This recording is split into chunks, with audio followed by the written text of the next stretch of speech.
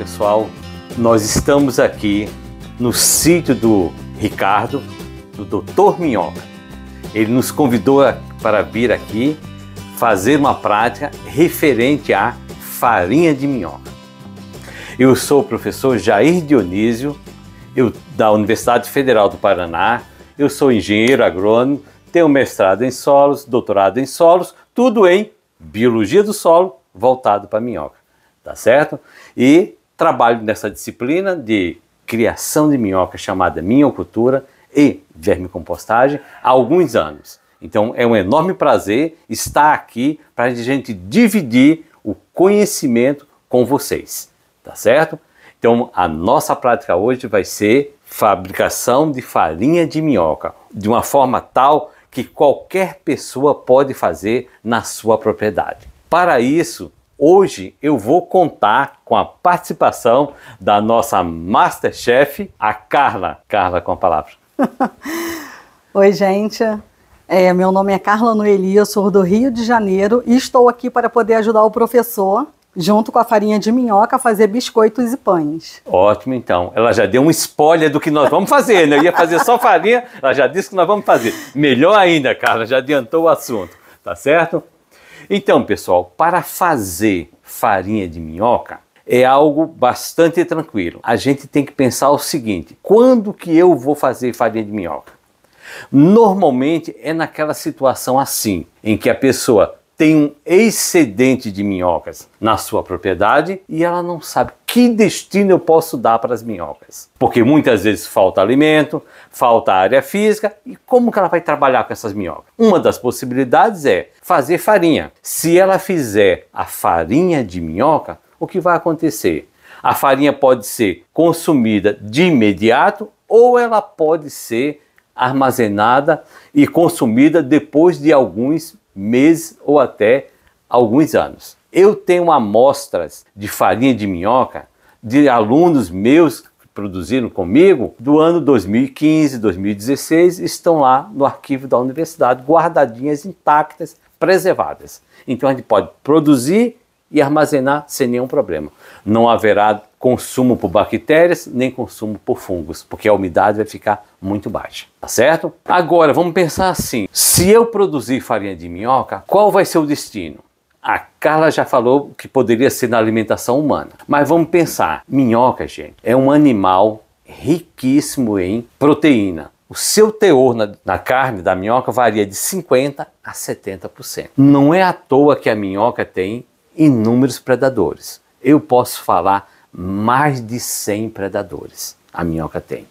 Então, devido ao grande teor de proteína. E além disso, é um animal que praticamente não apresenta defesa, não sabe como se defender do seu predador. Então, ela é muito disputada na natureza por aves, por pássaros, por sapos, por ratos, por roedores, por tatu, por gambá, uma infinidade de predadores. Então, quem cria minhoca sabe disso, a dificuldade que é proteger esses animais dos seus predadores, tá certo? Desde uma simples formiga até, por exemplo, porco. E essa questão de ela ser consumida por esses predadores, se a gente inverter a lógica, a gente vai entender. Se os predadores consomem as minhocas, quer dizer que a gente pode produzir minhocas para alimentar estes predadores. É o que acontece. Nós podemos oferecer as minhocas in naturas para alimentar rãs, para alimentar galinhas, para alimentar pássaros, peixes e assim por diante. Podemos usar para todos eles, porque eles naturalmente já consomem. O que é que a gente faz? Cria em cativeiro uma quantidade expressiva para poder então atender as necessidades desses animais. Então, isso seria você utilizar a minhoca in natura. Por outro lado, a farinha que nós vamos fazer agora, ela também pode ser utilizada para, para compor a ração de peixes e de outros animais, como suínos, como aves. Então, ela tem uma grande utilização. Aquilo que no começo da conversa eu falei era um problema para um produtor ter excesso de minhoca, na realidade, a gente pode transformar numa solução. Então, nós viemos aqui para trabalhar para transformar o excesso de minhoca numa solução, que seria o quê? Alimentar animais ou até alimentar seres humanos. Devido ao quê? O seu alto teor de proteína. A criação de minhocas para a produção de farinha, ela passa por um processo, assim como toda e qualquer receita culinária. Tem um processo que a gente tem que seguir, os passos que nós temos que seguir. Então vamos lembrar assim, qual que é o primeiro passo? Você tem que ter a matéria-prima. E nós estamos aqui no local excelente. Tem uma grande quantidade de minhoca. Então nós temos a matéria-prima minhoca. Esse é o passo número um. Tem que ter minhoca. Segundo, depois que eu tenho as minhocas, eu preciso tratar as minhocas. Eu tenho que fazer uma limpeza das minhocas. Externamente, que a gente chama de expurgo, expurgo externo, que a gente limpa as minhocas por fora. Deixa as minhocas na água de um dia para o outro, podemos deixar de 12 até 24 horas na água de um dia para o outro para que ela limpe externamente, né, o seu corpo e até ela limpa uma parte interna, mas não completa. Então, depois que a gente passa na água que limpa bem as minhocas externamente, o passo seguinte é o expurgo interno, parte interna para liberar o que? O seu conteúdo do seu sistema digestivo. Que ela faz isso quando? Quando eu coloco ela numa solução de sal de cozinha cloreto de sódio a 4%. Quando coloco elas lá dentro durante 30 minutos, com isso ela, ela libera o conteúdo intestinal e ainda libera o líquido celomático, um líquido que dá que dá o volume da minhoca para que ela tenha seu corpo mais, digamos assim, mais dinâmico com esse líquido que tem lá dentro. Isso. Então a gente tem que colocá-la no cloreto de sódio, que por excesso de concentração de sódio aumenta a pressão osmótica, tira a água dela. É como se a gente colocasse o dedo na água do mar, né? Esperar muito tempo, o que acontece com o nosso dedo? Vai ficar todo enrugado. A mesma coisa com a minhoca. Colocou no cloreto de sódio durante 30 minutos, depois disso, ela perdeu para, a solução todo o seu conteúdo. Então acontece uma uma limpeza. Então, o primeiro passo é a criação de minhocas e o segundo, fazer o expurgo, tá certo? Expurguei as minhocas, estão limpas. Elas estão limpas, o que é que nós vamos fazer então? Terceiro passo, que é secagem das minhocas. A secagem ou desidratação, como a gente chama, pode ser feita num forno de micro-ondas ou pode ser no sol. Pode ser feito no sol. Mas para se fazer no sol é necessário que a gente tenha dias de calor com bastante insolação para desidratar. E o que não, desid... não é muito fácil, dá muito mais trabalho. Então a gente prefere fazer a desidratação direto no micro-ondas. Poderia ser feito no forninho elétrico? Poderia também ser feito no forno elétrico. Se faz também no forno elétrico, na estufa também se faz. Então o passo número 3 é desidratar, para que ela fique seca mesmo, para que fique seca, uma carne seca. Depois que a carne estiver seca, o que é que a gente faz? Vai fazer uma moagem. Se a quantidade for pequena, a gente coloca no pilão e vai triturando. Mas se a quantidade for maior, passa no liquidificador, tritura até ficar um pó. Quanto menor a granulometria, melhor. Quanto menor o tamanho, que ficar menor. Por quê? Ela vai ser então posteriormente misturada com massas. Então a gente precisa então diminuir o tamanho. Então, revisando, quais são os passos que nós vamos fazer? Obtenção de minhocas, já obtemos aqui porque aqui é o que mais tem a minhoca. Segundo, expurgo externo e interno. Terceiro, desidratação das minhocas ou a secagem. E quarto, moagem. Fez a moagem, você já está com a farinha. Professor, no, na questão da desidratação, qual a temperatura, né? Porque a gente sempre tem ah, alguns tipos de alimento, frutas, verduras, tem uma temperatura ideal. No caso da minhoca, qual a temperatura ideal? Temperatura, vamos supor, se eu trabalhar com estufa, com estufa ou um forno na faixa de 150, 190 graus, nessa faixa, tá? Aí quanto menor a temperatura, mais vai ser o tempo, tá certo? A gente no vai ter sol. no sol levaria o quê? Uns dois ou três dias aqui nessa região. Agora imagine na região amazônica ali, na linha do Equador. Lá o pessoal tem bastante trabalho interessante mostrando a secagem no sol. Entendeu? Seca e seca bem, entendeu? Porque a intensidade, a insolação é constante, né? E durante alguns dias. Então pode ser, ser feito. E micro-ondas, no caso 190 graus, seria forno, no caso do micro-ondas? Ah, no pode... caso do micro-ondas. No caso do micro-ondas, nós podemos colocar num tempo reduzido, 15 minutos, tá? Mas isso depende de quê? Depende do volume que você tem de minhoca. Então a gente coloca as minhocas numa bandeja, deixa uma camada fina para que não haja muita sobreposição, para que todos se desidratem, e põe 5 minutos para, tira do micro-ondas e com uma espátula, de preferência de silicone, a gente revolve. Aquela que estava embaixo, a gente põe em cima, mais 5 minutos. Alternando. Quando você fizer isso, você já começa a sentir o cheiro de ração, como, como se fosse uma fábrica de ração. Olha, o cheiro é assim, é marcante. Por quê? Você está trabalhando com proteínas ali. Proteína úmida, né? Tá, proteína úmida à vontade. Então começa a dar aquele cheiro forte. Então a gente faz a segunda vez. Terminou a segunda vez, tira lá, revolve novamente. E faz mais uma terceira. Ela Ah, Quando for fazer essa terceira vez, normalmente você olha para a massa de minhoca, você não tem nem, você não acredita que aquilo era minhoca. Você não acredita. Agora, professor, a, a, a quantidade final, vamos falar assim, de um quilo de minhoca, a hora que a, a farinha estiver já triturada, qual é o rendimento? Então, para a gente lembrar, eu tenho um vídeo, eu tenho um canal chamado Canal Academia da Minhoca, no qual a gente tem um vídeo específico sobre produção de farinha de minhoca. Esse é um vídeo, e o outro é ensinando a como calcular o rendimento da farinha de minhoca. Mas eu posso antecipar, Ricardo. Está em torno de, olha, 1 para 10, 1 para 11, entendeu? É por aí que varia. 1 para 9 depende. Depende do tempo que você vai levar para preparar aqui as minhocas Então, traduzindo, seria o quê? Um quilo de minhoca, 100 gramas de farinha. farinha de minhoca pronta. Pronta para utilizar, utilizar pela Carla na fabricação de pão, de bolo ou de biscoito. É, e, e- e isso é, é um, é, um, é um fator que é uma farinha extremamente cara. Né? Ela se torna cara porque um quilo de minhoca é um volume grande de minhoca, né? E ela se torna uma farinha bem cara. É, e o que, que o senhor me diz de uma das perguntas que a gente sempre recebe sobre o, o hambúrguer de minhoca que o McDonald's usou uma época? por etapas. A questão da cara, da secar a minhoca, pensem, você vai produzir minhoca, produzir farinha de minhoca, quando você tem um excedente de minhoca. Então você já está com um problema. Você vai buscar uma alternativa. É caro, Ricardo, se você for querer vender no mercado. No mercado, digamos assim, para outros, eh, para criadores de peixe, para criadores de aves e assim por diante. Mas pense, se você pegar este, esta produção de farinha e direcionar para um mercado específico chamado criação de peixes em aquário, aquariofilia, aí sim ela terá mais preço. Outra coisa, por que o preço ainda é alto? Porque essas tecnologias de fabricação de farinha, existem diversas metodologias para fazer. Eu só vou apresentar uma. E essas tecnologias, quanto mais sofisticada, mais equipamento usa, mais mão de obra, técnica, e com isso fica mais alto o preço. Mas um dos outros dos fatores que também pesa é a falta de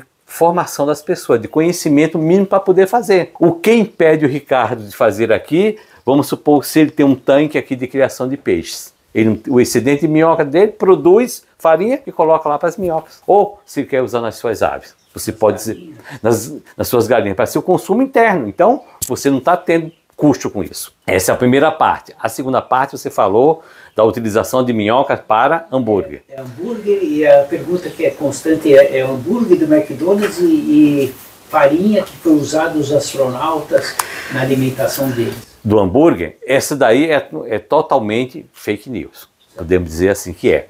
Porque não teve isso aí. Isso não aconteceu. Isso aí foi simplesmente uma conversa que houve num programa nos Estados Unidos, um talk show, em que o programa estava em, digamos assim, o programa não estava em audiência, não tinha audiência que se esperava, e foi comentado isso para ver se chamava a atenção das pessoas, para as pessoas ir assistirem mais o programa. Foi com essa finalidade. E só que a consequência disso foi muito maior do que se podia imaginar. E que com isso houve uma queda muito grande no consumo de hambúrguer do McDonald's nos Estados Unidos. Houve uma queda muito grande, porque as pessoas deixaram de frequentar, porque achavam que era assim. Imagine que isso aí ocorreu na década de 70. E até hoje, em todos os cursos, todas as palestras que eu vou, o pessoal pergunta. Você vê 50 anos praticamente depois, a pergunta está viva aí. Por quê? Porque está no, digamos assim, no imaginário popular, né? Todo mundo ficou sabendo disso. E para desfazer isso não foi problema, não foi fácil, porque a empresa reduziu sua produção, reduziu seu quadro de funcionário a praticamente um terço. O prejuízo foi grande para a empresa.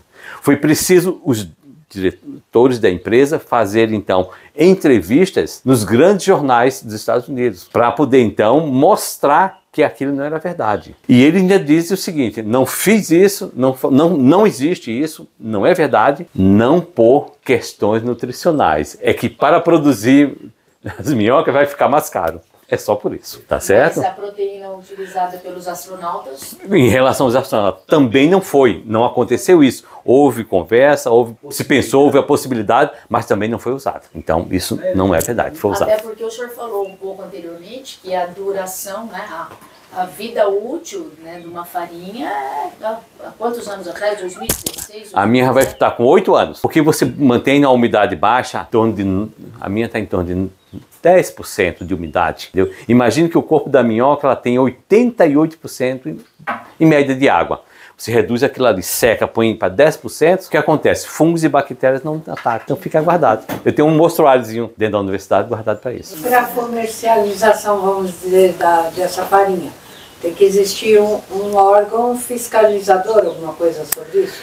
Isso. É o que eu estava comentando com a Carla. Sim, tem um projeto de acho que 1999, ó, do pessoal lá da Piracicaba, da univers, com a universidade e o Sena, eles tinham um projeto, montaram uma empresa e pediram autorização na Anvisa para produzir minhoca, farinha de minhoca para consumo humano. Mas até hoje, até a minha última aula que eu apresentei, eu revisei lá, não tinha sido aprovado. Porém, o mais importante, não foi negado nenhuma vez, porque até agora não teve nenhum componente que, que inviabilizasse essa produção.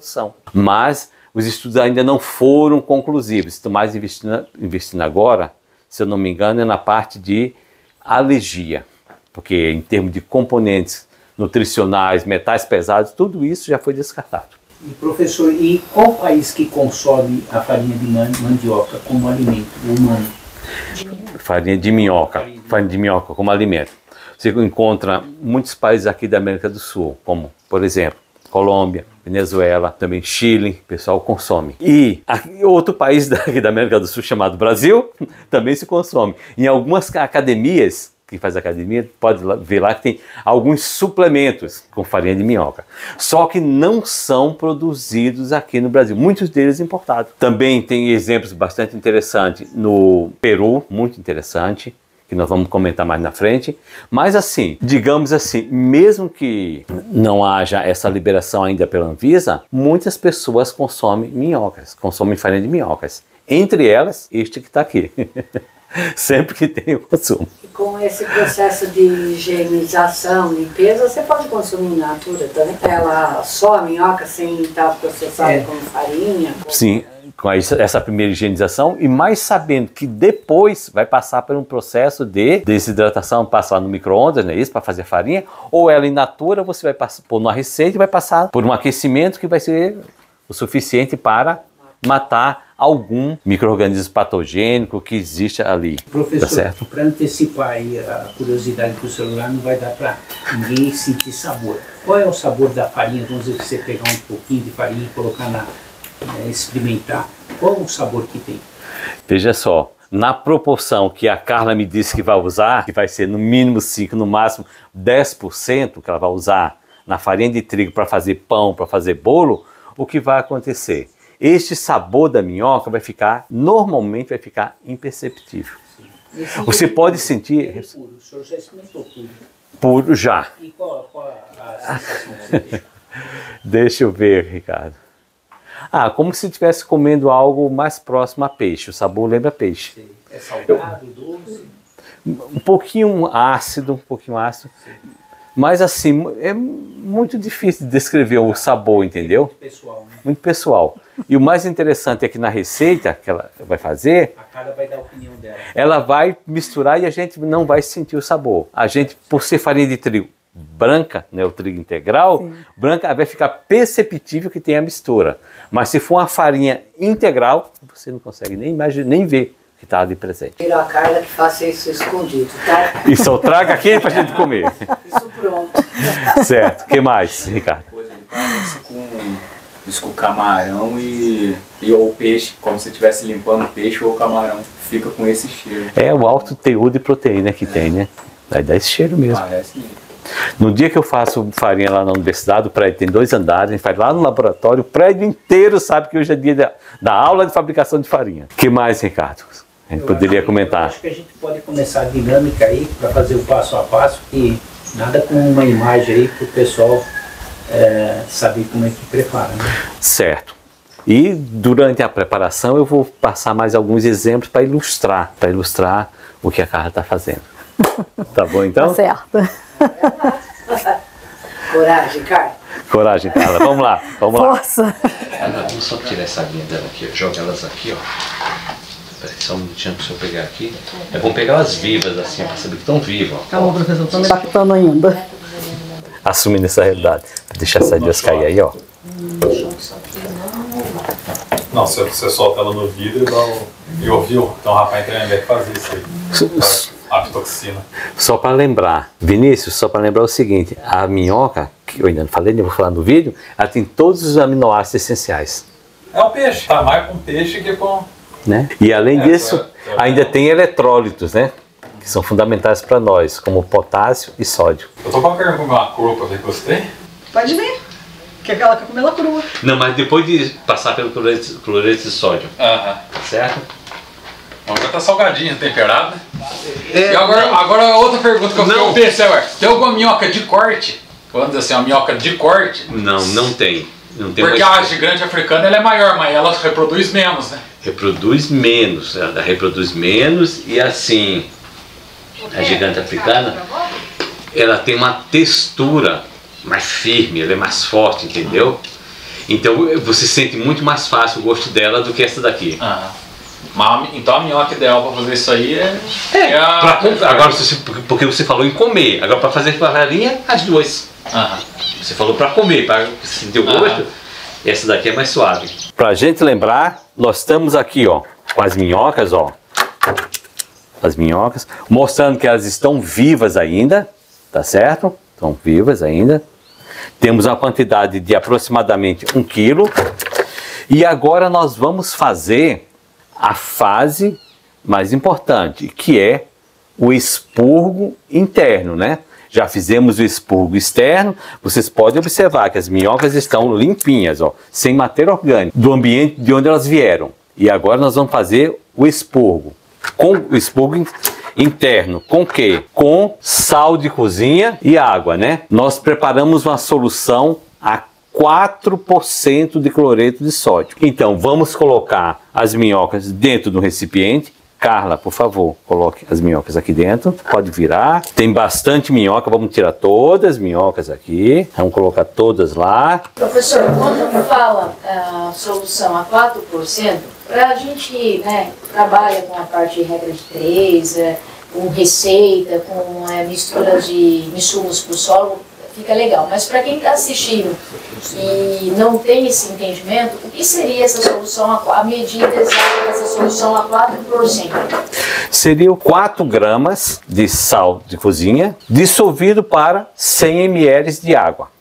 Você pode pegar uma, uma balança caseira, que hoje todo mundo tem em casa, está muito fácil, né? E um recipiente que tem a marca. No caso aqui, eu vou usar 500 ml. Certo? Tá. Então, se eu usei 4 gramas para 100, para 500, eu vou usar 5 vezes a quantidade de sal. Total 20 gramas. E assim eu faço proporcionalmente. Então, qualquer coisa que não ficar muito claro, vocês Porque assim, nós temos um entendimento, né? Sim, sim, sim. ajuda muito. O pessoal que está acompanhando, eles dizem, 4% sobre o quê, né? Como é que Essa aí eu levo de volta para o meu Pode levar de volta para o minhocário, pode salvar. Então, Carla vai colocar então a solução de cloreto de sódio em cima das minhocas. Pode colocar. Então, para praticamente um quilo de minhocas limpas, nós colocamos então ali, ó, nesse recipiente, 500 ml de água. Podemos de solução de cloreto de sódio. Poderíamos até colocar mais, mas não teria nenhum problema aqui, ó. O que vai acontecer é que as minhocas vão então ficar num ambiente extremamente concentrado. Quem já foi lá para o Mar Morto ou quem já foi lá para o deserto do Atacama tem no deserto do Atacama tem lagos, no Mar Morto é o mar, né? Onde tem grande concentração de sal, que você entra, você sente a diferença, né? Aqui é a mesma coisa para as minhocas, fica totalmente ambiente adverso para ela. Com isso elas liberam todo o seu líquido celomático, certo? Ficam limpinhas para a gente utilizá-las em receita, certo? Até porque se fôssemos abrir todas elas, né? Uma por uma para limpar, vejam, e elas já foram assim trabalhadas, foram preparadas desde ontem, estão em água desde ontem, liberando todo o seu conteúdo intestinal. É porque se passar a gente não tem como tirar. Pronto, pode ir colocando lá, 20 gramas. Que eu estou vendo que tem algumas minhocas saindo, entendeu? Eu quero todas elas dentro da solução, porque aquela que estiver saindo, ela não está tendo contato com a solução, está fugindo. Então a gente vai dobrar a quantidade de solução. 20 gramas. 20 gramas. Agora eu vou fazer aqui.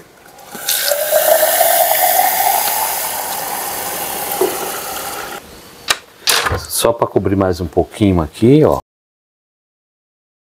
Aproximadamente poderíamos deixar aí nessa solução. Nessa solução, 30 minutos. É o tempo suficiente. Uma coisa interessante, tem que ser sal fino, sal fino, que dissolve totalmente. Se você utilizar um sal grosso, aquele sal de churrasco, não faz o mesmo efeito. Não, realmente não funciona para as minhocas, principalmente para a gigante africana, tá certo? Aí na questão do sal fino, se eu pegar aquele sal e triturar ele e deixar ele em pó, Aí sim, Ah, passa, legal. triturar. É o que a gente faz em casa.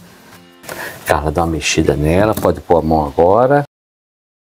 Vamos passar na peneira.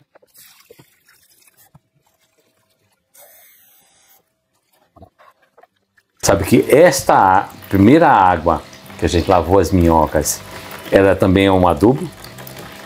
Ah, é? A primeira água lá do início, não essa aqui com, antes de colocar o sal. Quando você lava a minhoca na água, se você pegar aquela água e adubar as plantas, funciona muito bem, viu? é. É, sai um pouquinho de líquido celomático, mas na realidade sai mais a parte externa dela. As excretas nitrogenadas, tudo que vão servir para enriquecer a solução e funcionar como excelente fertilizante. Mas podia tirar, pôr direto no prato. Direto no prato. Para cobrir assim o fundo do prato. Pode pegar, pode, com- sem medo de ser feliz. Sem medo de ser feliz. E professor. sem medo de ser feliz assim, vamos espalhando assim, ó, para poder desidratar bem. Então, acho que já tá bom, tá? Profissional. Profissional não tem essa. Então, nós vamos deixar ela aqui escorrendo agora. Vamos colocar, nós dividimos em duas partes praticamente, tá, Carla? Tá bom. Então, vamos colocar no micro-ondas. Aí você regula o tempo, põe um minuto pra gente ver primeiro. Foi demais. Não, pode mais, dois, põe dois minutos. Tá. Só pra gente acompanhar os dois minutos, como é que vai ficar. Vai ser, quer dizer, mais fácil. Cobrimos. E senão daqui a pouco ela começa a soltar Não, líquido, vai a sujar todo o micro-ondas. Não, não explodir não. A, a- a minhoca. Pode deixar direto, porque aí. Pode continuar. Então, o nosso processo é esse, né? Nós vamos fazer a desidratação das minhocas. Desi- Desidratação fracionada, em etapas.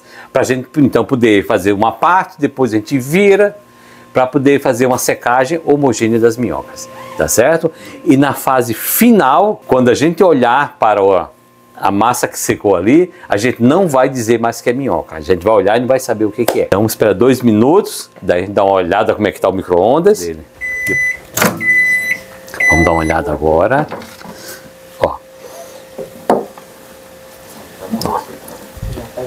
Ó, Tá com bastante água, né? tá. Troca o papelzinho aí. A gente escorre de novo? Pode escorrer, mas. Pode escorrer, pode escorrer. Cuidado pra não. Mais dois minutos, né, Mais professor? dois minutos. Mais dois minutos. É, nessa questão foi. Ninguém tá sentindo cheiro ainda? Vocês estão sentindo cheiro já? Não, mas não, não. Não, mas ainda, ainda não começou o cheiro. O cheiro forte não começou. Não começou ainda, não. Não, tá cheirinho de coisa molhada mesmo. É, porque o ambiente é bem- aberto, né? É porque em laboratório fica tudo fechado, é o cheiro. Ó.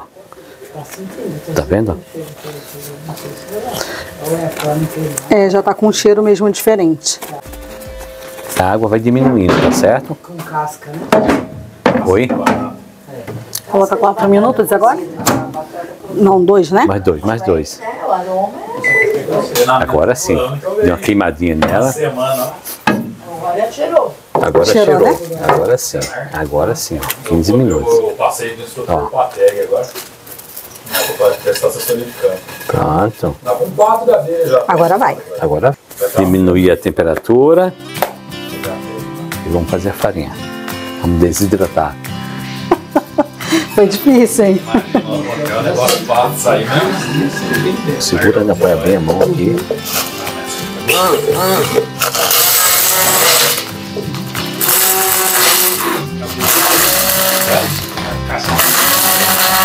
Olha como é rapidinho.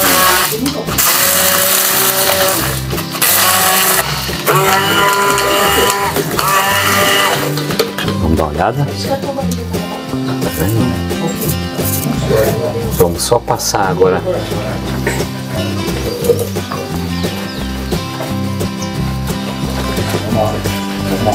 Isso. Dá certo isso aí? Dá.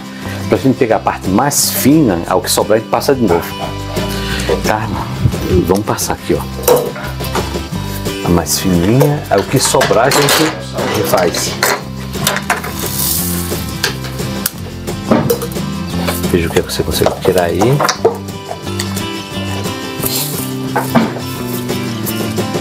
Pronto. Vamos só pegar isso que sobrou. Vamos pegar o que sobrou, vamos colocar aqui dentro. Ser mais jeitosa. Isso que eu gosto.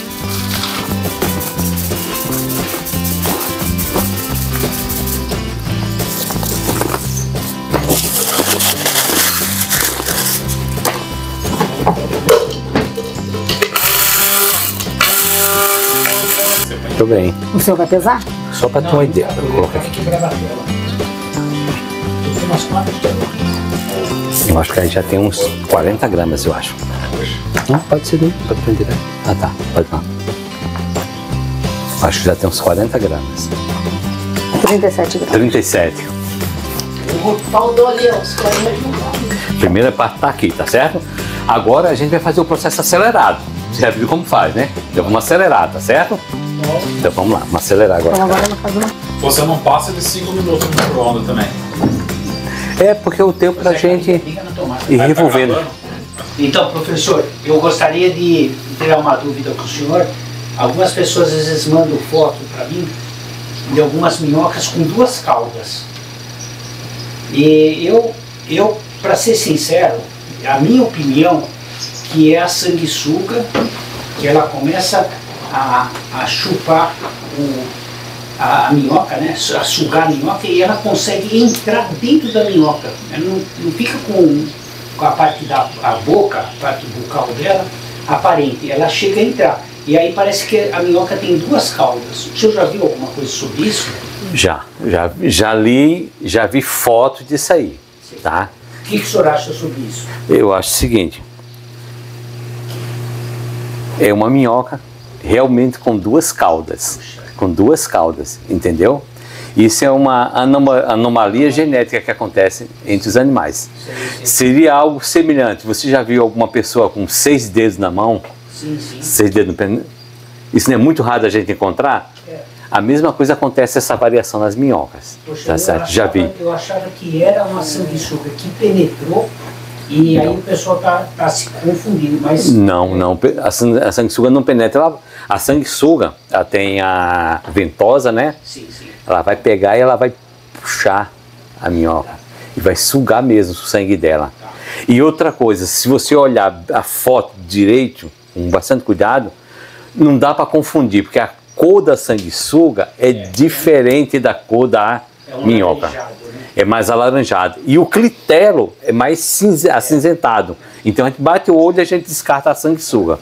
Ainda bem que eu não tenho essa, nunca tive aqui no minhocário. Mas eu já vi a foto, alguém mandou no grupo, a dos Foi o Ronaldo. Ronaldo, eu vi e eu já tinha pesquisado antes, eu sabia que isso poderia acontecer. Tá? Mas foi bom que o senhor teria essa dúvida para mim.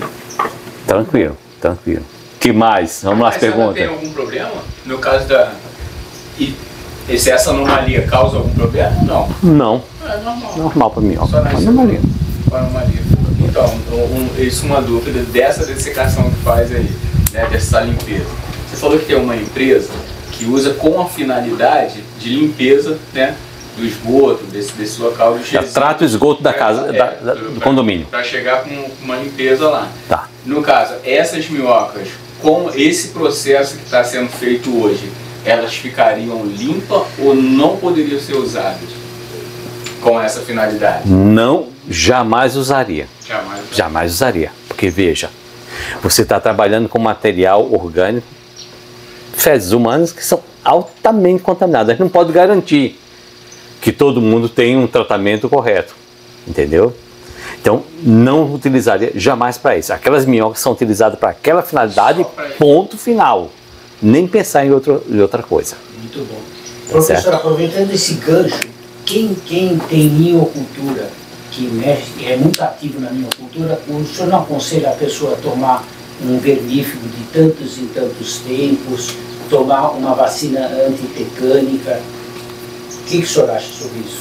Assim, primeira coisa, se vai trabalhar em propriedade rural, aluno de agronomia nosso tem que apresentar carteirinha de vacinação. Tem que estar vacinado contra, no mínimo, tétano. Tem que ter. Tem que ter. Independente de qualquer coisa. Se vai trabalhar com minhoca não, tem que ter. Quem está na propriedade rural tem. Por quê? Porque a bactéria, o bacillus tetânico, está no solo, não está em nenhum local não. Está no solo. Você está lidando com isso?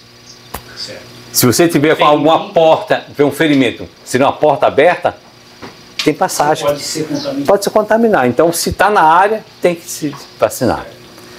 Mas a tua pergunta tem mais alguma coisa? A, a, a vermífugo. E, e Ivomec, é, Ivomec não, Ivomec é pagado.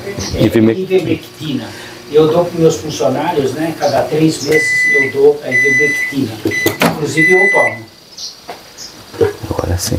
Eu acho também importante, aí nesse caso, consultar o médico para ver qual o melhor é, antielmíntico recomendado, né? O médico poderia recomendar, mas que use um com orientação médica. Tá ótimo. Acho que é fundamental. Muito bom. Quem está no ambiente que a gente está, está sujeito a tudo isso, a contaminação.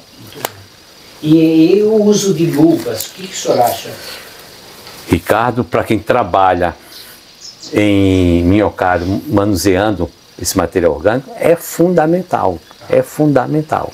A gente tem que acostumar a trabalhar com EPI. No caso, uma luva. É necessário.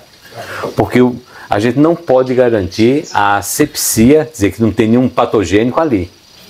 E a gente está sempre com as mãos, mãos machucadas, unha mal cortada ali, pode facilitar a entrada. Estamos com quantos minutos? 11 com mais 5, 16.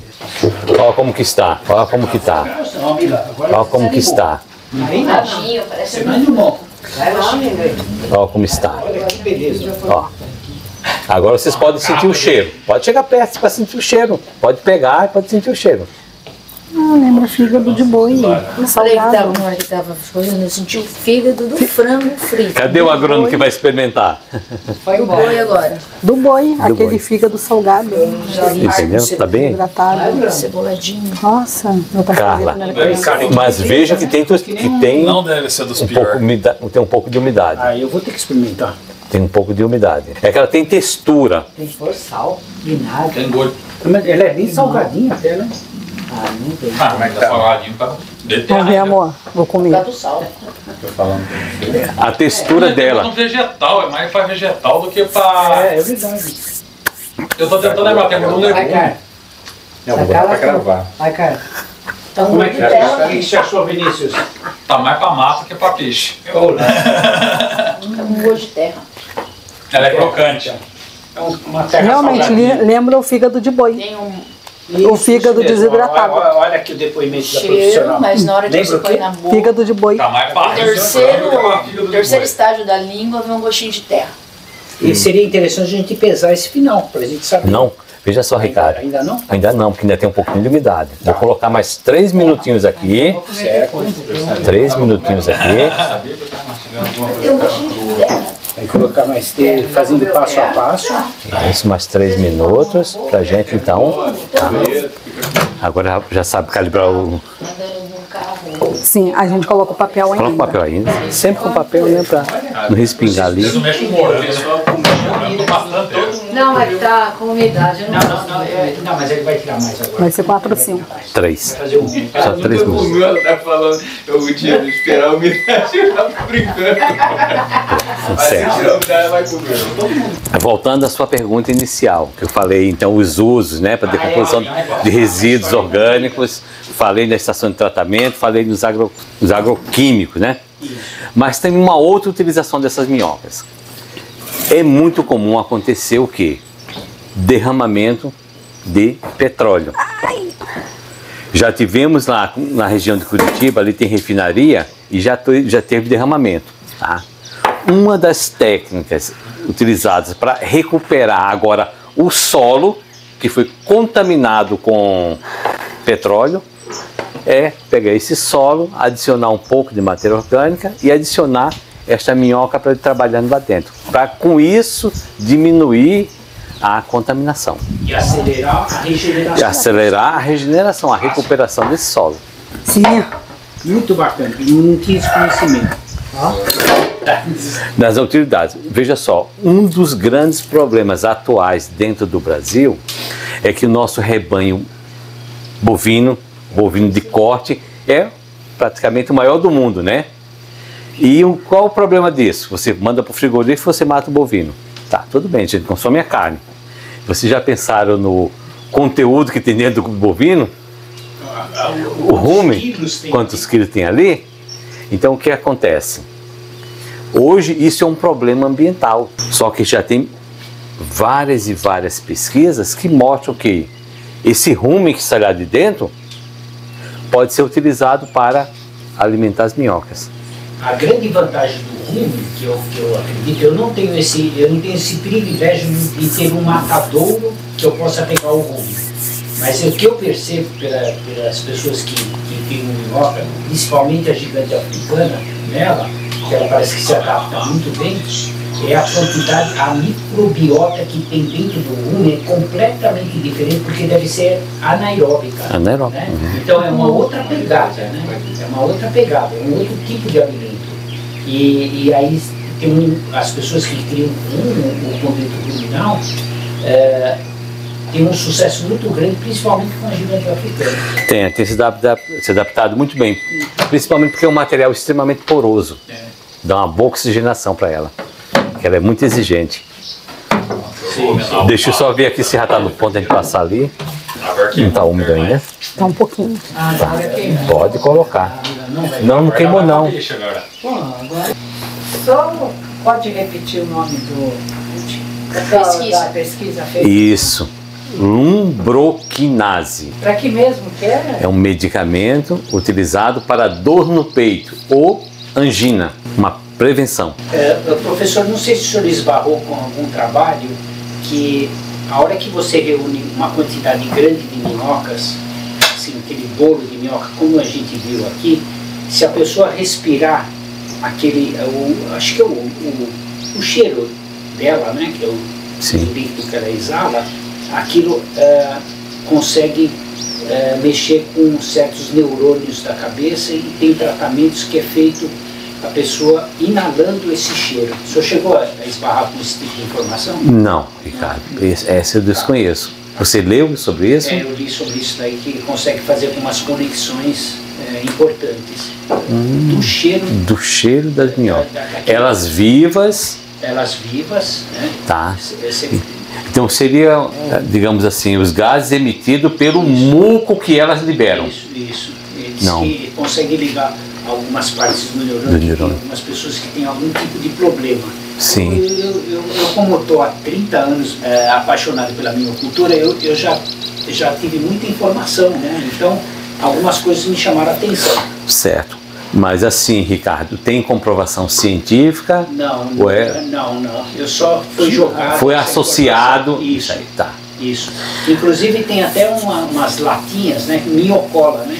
É, um- é uma latinha com a mesma letra da Coca-Cola, né? Minhocola. Eu não sei que país que lançou esse um refrigerante à base de minhoca. Sim, sim.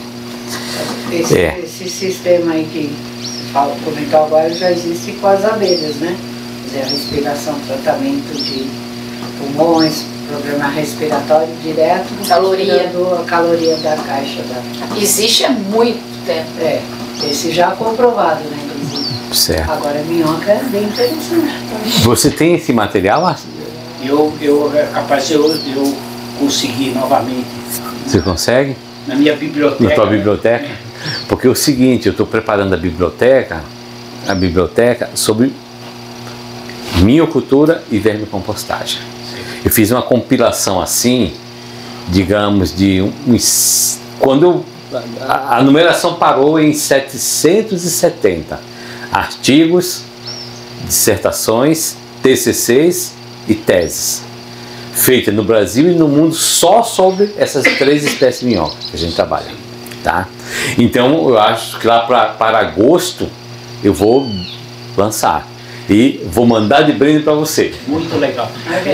Ah, quais as, as utilidades da minhoca? Qual, qual a, a, as possibilidades que uma minhoca pode ter eh, em vários segmentos?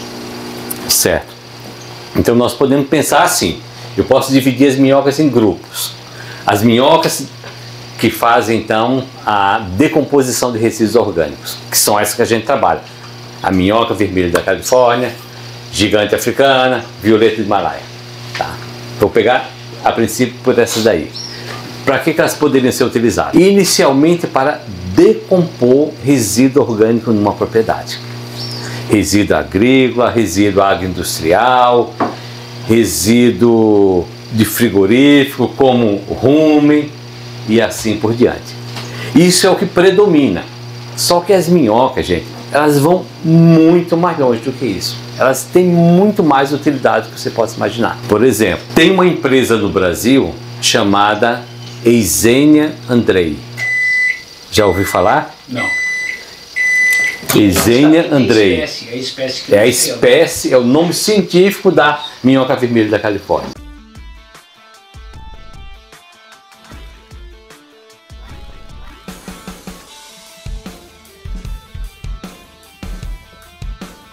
Então, dando continuidade à tua pergunta, Ricardo, eu falei da espécie Eisenia andrei, que é o nome da espécie, tá? Nome científico, né? Nome vulgar, minhoca vermelha da Califórnia.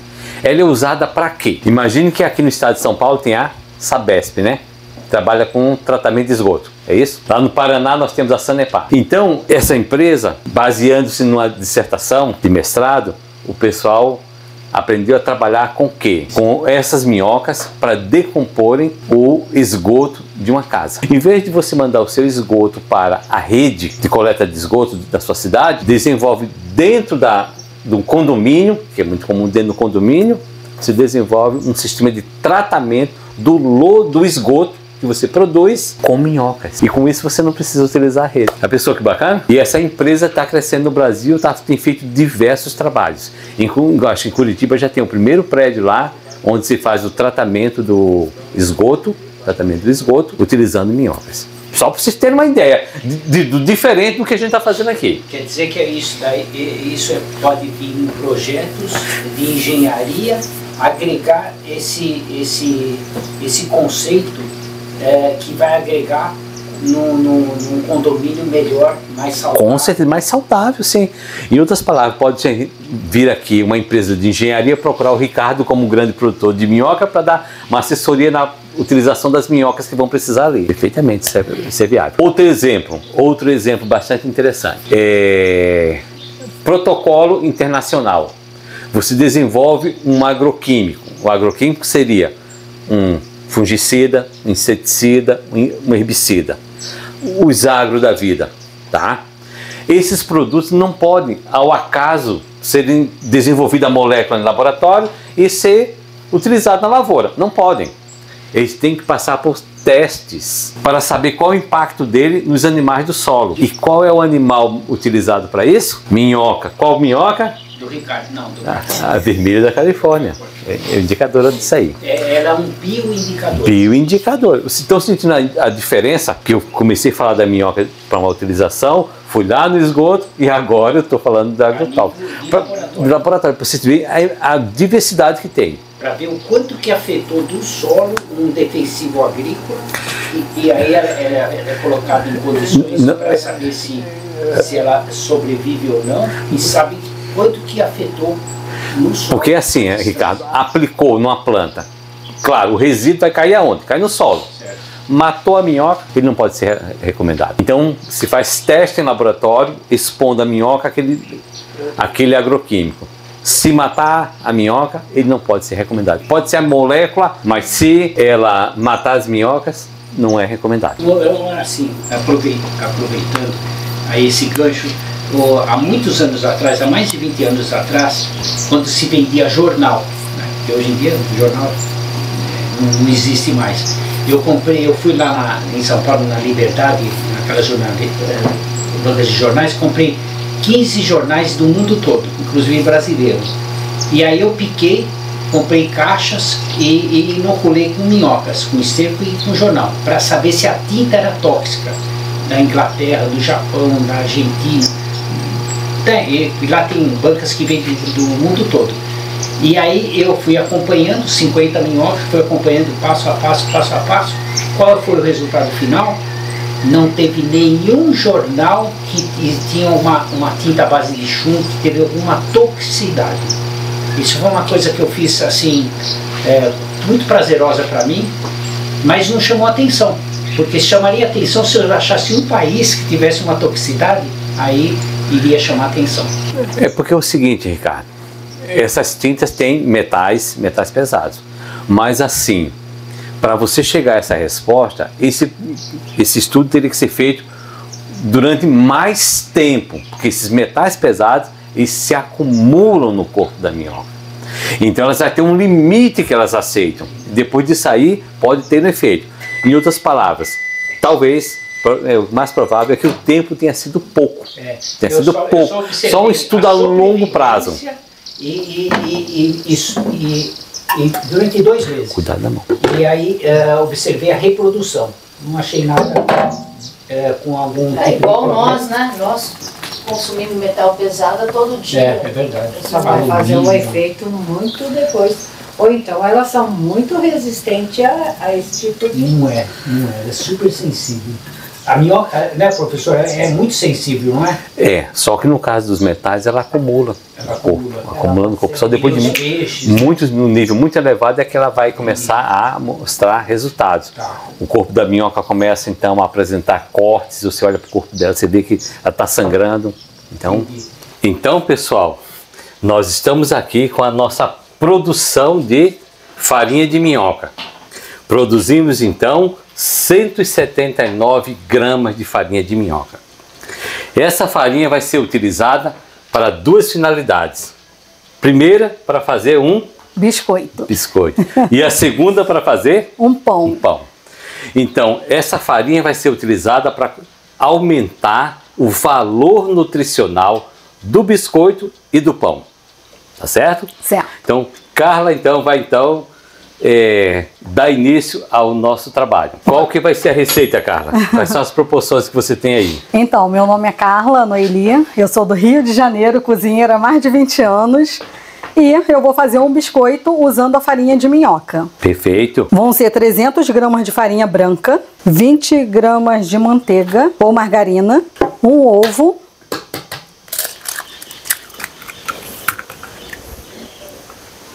e 50 gramas de açúcar.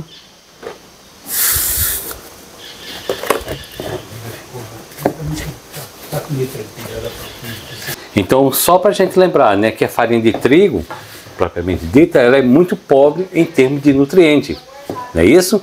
Então a gente vai enriquecê-la com a farinha de minhoca, porque a farinha de minhoca que, a- que está aqui, que a Carla vai usar, ela tem entre 60 até 70% de proteínas. Então é isso que vai dar o enriquecimento desse biscoito ou do pão que ela vai utilizar, tá certo? Certo. 30 gramas de farinha de minhoca. 30 gramas de farinha minhoca. Então parece assim um açúcar mascavo, vai dar uma colo- coloração diferente, né? Mas está pronta para ser utilizada. É, e a farinha de minhoca ela é bastante seca e tem a granulometria maior. Então a gente tem que botar uma maior quantidade de margarina. E vamos colocar umas raspinhas de limão.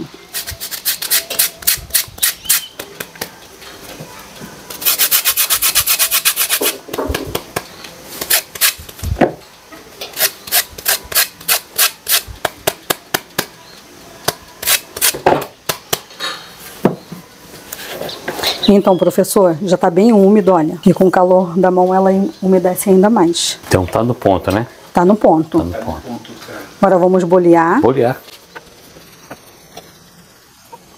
A farinha de minhoca chupa um pouco a umidade, né? Sim, sim, que ela está bem desidratada, né? Com a umidade bem baixa. Então ela Dá pra ver pelas rachaduras. ela causa rachadura. Uhum. Pronto, professor, agora a gente já pode assar. Vamos colocar. As- Passando na mão, você sentiu diferença na textura? Sim, eu senti diferença porque, como eu uso muita farinha, vários tipos de farinha de amêndoas e tudo, e eu tenho que dar liga nelas. Só que, como eu faço sem glúten e sem lactose, eu dou liga com leite de coco. Eu não uso margarina. Eu uso um ovo, mas eu dou liga com a gordura do leite de coco. Certo. Mas você Entendeu? sente. Você sente que tem Quer algo sentir? diferente na textura. Não tem tanto. É casco, nossa. Não, não, não. não tem sensibilidade para Isso é casco. Eu não sei se esse pode aqui, né? Não, não, pode. Aumentei, eu vou colocar aqui. Eu não sei quanto que vai render, porque aí eu tenho que assar várias vezes para saber, né? Tá? Eu acho que o rendimento não. Não vai alterar muito não, cara, do que você está É? acostumado. Mas não tá não. Porque só foi ali 10% de farinha. Vamos botar logo o pão para crescer? Ah, vamos ganhar tempo. Enquanto assa um, a gente vai pro outro. É porque, na verdade, tem que colocar aí olhando, né? Masterchef aqui vai fazer o pão, né? Sim. Então, qual vai ser a receita que você vai utilizar? Quais Então- são os componentes? Os componentes são: eu vou usar 30 gramas de farinha de minhoca, 300 gramas de farinha branca, farinha de trigo branca. Vou usar uma esponja. É, que eu já deixei pronta para acelerar um pouco o processo. Nós temos aqui 5 gramas de fermento biológico misturado em uma farinha de trigo e a gente coloca para crescer e depois mistura no pão para ser mais rápido. Aqui tá muito frio, né, Ricardo? Então, e vou usar 200 gramas de água. Pronto. Depois ele pesa 10 aqui. Tá cheirando, hein, professor? Tá, tá com cheiro bom.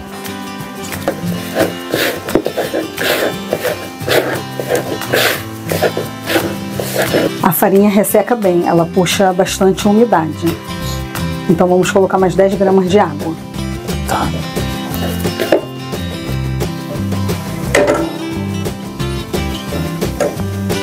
Botamos 15 minutos, né? Isso. Vamos colocar mais 15 minutos. Tem que ir aos poucos. Sim, primeiro eu coloco todos os ingredientes secos, depois eu coloco os molhados. E é importante, né? Sempre, o pessoal que às vezes pega, assim, né, geralmente, geralmente é assim, é, massa de pão, né, bolo, sempre é assim. Sim, eu sempre faço separado. Sempre coloco os secos primeiros e, e os molhados depois. Pra dar o ponto. Veja que parece uma farinha integral. Parece um pão integral. Olha a cor dela. Bonita cor, né? Essa cor é devida à farinha de minhoca, né? Tá lá. Quem viu? Tá presente lá em todas. Poderia, inclusive, chamar de pão integral, Sim. É, ou semi-integral. semi-integral, né? Porque o trigo. É melhor integral. enrolar aqui em cima? Sim, o pessoal vê enrolando.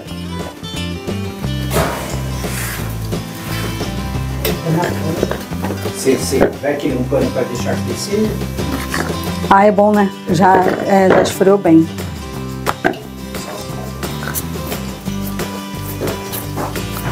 Olha aí. Começando com a enchia. Sim, parece também como uma. A enchia também foi assim.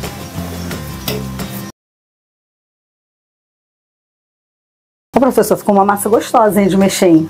Ficou, né? Ficou realmente a massa como se fosse de pão integral. Não está grudando. Isso é ótimo. Uhum.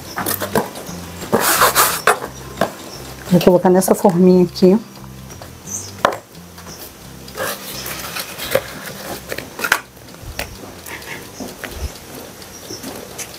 Agora nós vamos deixar o pão crescer até dobrar o volume. Mais ou menos quanto tempo, Carla? Então, como está um pouco frio, eu acho que uns 30 minutos. Tá. Então vamos marcar 30 minutos. Então tá.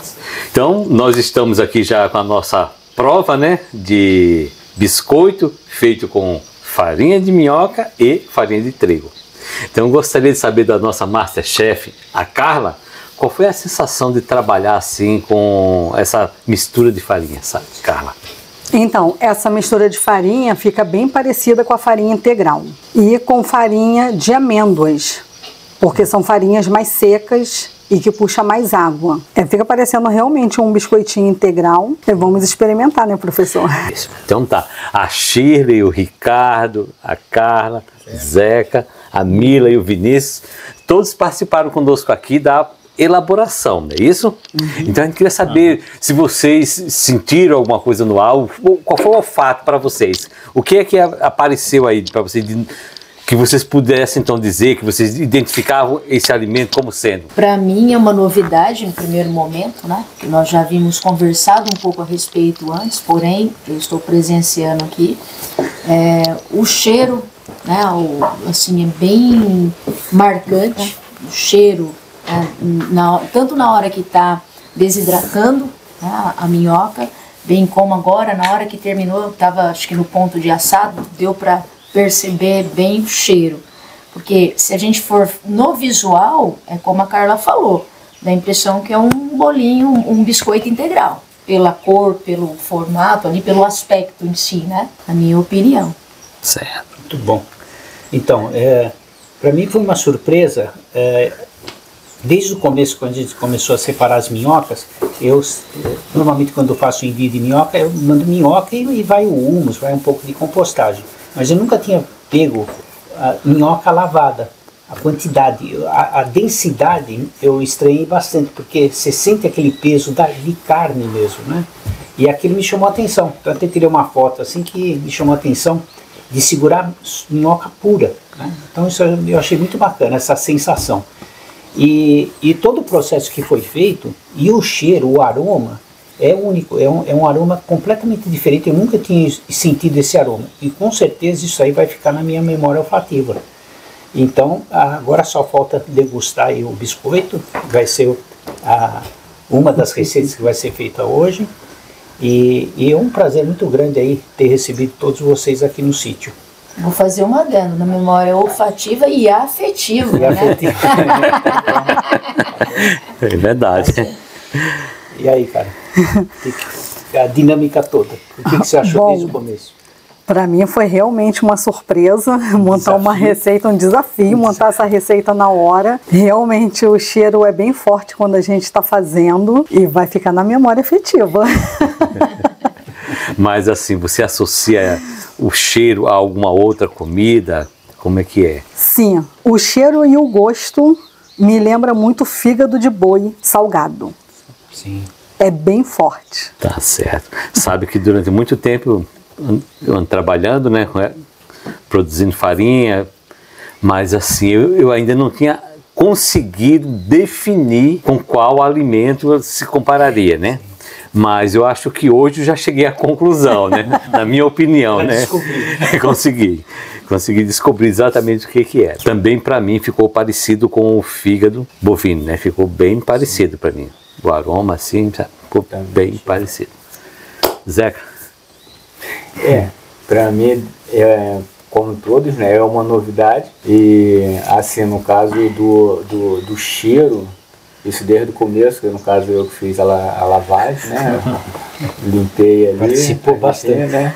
E eu vi que assim, o cheiro é, é, é, é, parecia assim com o camarão, com o peixe. Quando você mexe para poder fazer a limpeza, você fica com aquele aroma na mão. Então foi esse que. E na hora que fez ali a dissecação, essas coisas, ficou, parecia esse cheiro mesmo. Cheiro de fígado, Bovino. tiver bovino assa- assando ele. Também foi isso. E aí, Mila? Mira, A, a experiência realmente é bem intrigante, né? Inusitada. É, isso foi, mas foi um aprendizado bacana. Eu não consegui identificar cheiro algum assim que, E lembrança. que me lembre algo não, mas vai ficar o cheiro, vai ficar bem na memória mesmo. memória, no coração, no Mas foi bem bacana. Vamos ver agora, né? Obrigada aí pra, a Carla aí feito as, as receitas, melhorado a situação familiar.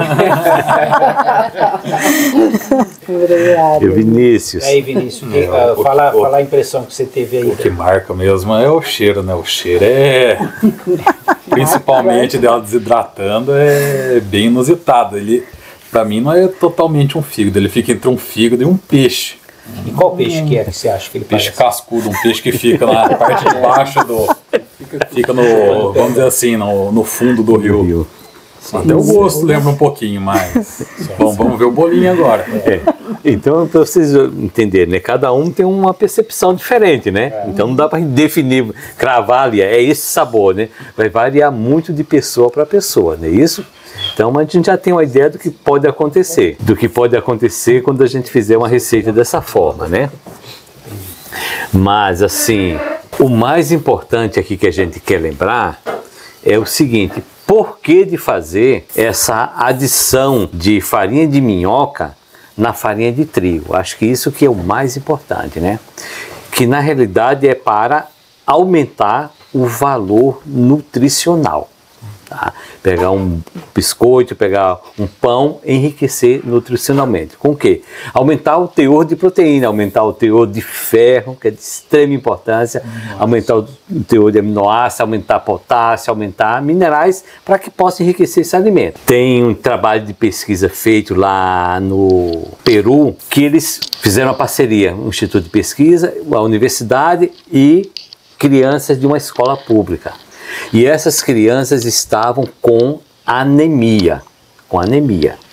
E eles começaram então a discutir como poderia amenizar esse problema de uma forma natural. Então o que é que eles fizeram? Desenvolveram biscoitos assim para alimentar as crianças. Esses biscoitos eles chamam de galleta ou galleta, biscoito para eles, né?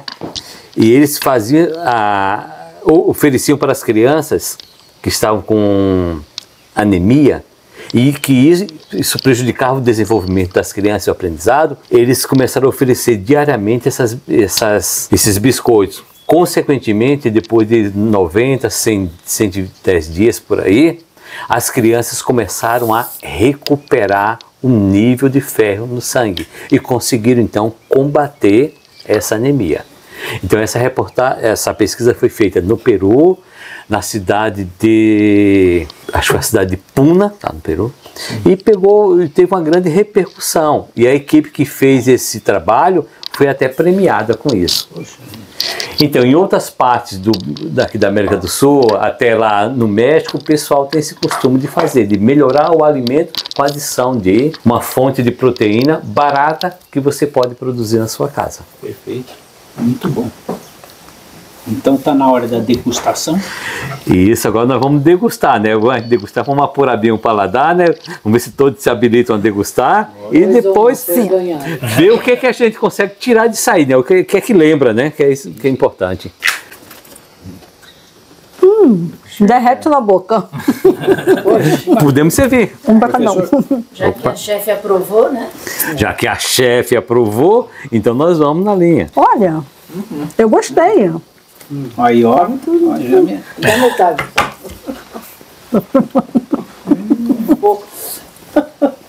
Corte. Não dá. O que, que você achou, Ricardo? Não derrete na boca? Derrete, é bem, bem suave. Olha, agora depois dele pronto, a surpresa pra mim ainda é maior. Maior. Sim. Porra, não, uma. Você gostou mais? sim, porque. Não, é sim, porque eu experimentei a massa crua e agora eu tô, eu tô experimentando a massa assada. Sim, sim. Aqui não ficou com o mesmo gosto. A massa assada dá um, dá, dá um, tem um sabor um pouco mais leve. Ela é mais adocicadinha. Sim. Não fica tão picante. Não Sim. fica tão ácida. Né? Ele só avisa o gosto da. Suaviza, suaviza. É muito gostoso. Só pegar não. Eu, Condensado. Eu gostei muito. Muito bom. Então tá aprovado, professor? Corte essas coisas que eu falando. cumprida. Então vocês é que tem que me dizer se está aprovado. Então, provamos o bolinho, né? Queria também agora saber qual a impressão de vocês. Ricardo, na sua opinião, o que é que você achou a respeito desse bolinho? de bolinho feito com farinha de minhoca? Bom, eu gostei bastante da, do bo- bolinho, ele derrete na boca, aquele, aquele cheiro característico praticamente sumiu todo, né? E ele tem uma textura muito bacana. Eu gostei bastante da textura do biscoito. Tá, você consumiria outra vez? Consumiria, com certeza. Com certeza. Eu gostei Nossa, muito Master. da textura, derrete bem na boca e eu consumiria outras vezes. Muito bem. Perfeito. Zeca, Gostei. Gostei dele. Comeria outras vezes. É diferente, né? Sim, sim, nunca, sim. Nunca tinha comido. Bom, Aprovei. Ninguém, né? tá aprovado? Tá aprovadíssimo. Mila, Shirley. Sheila. É, o sabor, a gente, depois de assado, a gente não consegue identificar Que é. com nenhum aroma, com É. nenhum outro sabor. É totalmente é, diferente de tudo que eu já experimentei. Comeria, como estamos é, comendo aqui, e assim, eu acredito que pelo o valor nutricional, nós deveríamos começar a fazer um trabalho de maior divulgação. Tá. Não só o Ricardo aí com a parte da miocultura, mesmo nós que não, não estamos assim, é, nossa frente não é a miocultura, mas nós deveríamos começar a desenvolver esse trabalho, com workshops, com é, até convidando chefes das nossas regiões. E também fica o convite aí para ir lá na nossa região lá e desenvolver um trabalho como este, porque é muito interessante e eu acredito que, levando em conta inclusive o que o professor falou sobre o- o- a pesquisa que foi feita no Peru, se já tem pesquisa que já comprovou né, a questão de acabar com a anemia, hoje as pessoas estão com muitas deficiências, né, principalmente ferro. Pessoas vitamina D, ferro, estão faltando tudo. É uma fartura total em termos de minerais, de nutrientes, vitaminas, proteínas. Então, o nosso papel aqui, uma vez sabendo disso, a gente tem que passar para frente. Muito bom. Pila. É, não é tão ruim. A gente brinca tudo porque é uma coisa bem diferente. A nossa Exótico. cultura é complicada, né? Mas é saboroso. Depois dele assado, ele fica crocante, então ele perdeu aquele sabor forte, acentuado, né? Mas não é ruim de todo ruim, não. Vinícius. Bom, eu gostei da textura, mas o sabor não tem. Não consigo pensar em nada que seja semelhante mesmo. Hum, É único. É o único. É. É o único. É o único. você fica mastigando assim, tentando É. pensar no que parece, você não consegue chegar em nada. Nem peixe, nem, Fígado, nem né? fígado, nem nenhum outro órgão bovino. Que Você vê que muda totalmente. E ele ficou bem mais suave É. do que a minhoca seca, Isso, que, isso que nós provamos. Não fica ele, aquele ele amargo morno, no né? fundo. Ele da morno, ele, ele tá bem acentuado. Agora que esfriar, vai sumir mais ainda. Eu acho que de um dia para o outro também. É, eu acredito que sim. Sabe, esse, esse pouquinho cheiro que fica ali vai sumir. Uhum. Muito bom. Tá, isso é pra gente entender, né? Que a gente tá conhecendo um alimento exótico. Sim. Exótico, né? Mas sabendo que é um alimento exótico com toda a con- condição higiênica e com todo o seu valor nutricional. Que a gente não pode abrir mão disso, né? Que, essa, que é mais uma forma de você melhorar a sua alimentação. E que vai estar acessível para qualquer um, né? Qualquer criador de minhoca pode produzir e pode divulgar. Junto com o Masterchef, né? Com a nossa Masterchef aqui, você pode divulgar esse tipo de trabalho. Bom. E vamos ver se a gente posta a receita, né? É, discriminada para as pessoas que quiserem ter um passo a passo. Perfeitamente. Perfeito. Certo? Muito Certo. bom. E viva as minhocas! Viva a minhoca. Minhocas. Muito bom. Então, pessoal, estamos aqui aqui na no sítio aqui Dr. Minhoca, com a presença aqui do professor Dionísio, o Zeca, a nossa cozinheira master aqui a Carla, e eles vão saborear a panqueca feita com farinha de minhoca. Já foi decorada aqui com amora, mel do sítio São Camilo, e aí a degustação vai ser feita agora. Então vamos lá.